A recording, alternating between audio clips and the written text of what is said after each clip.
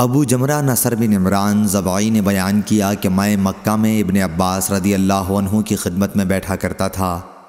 वहाँ मुझे बुखार आने लगा।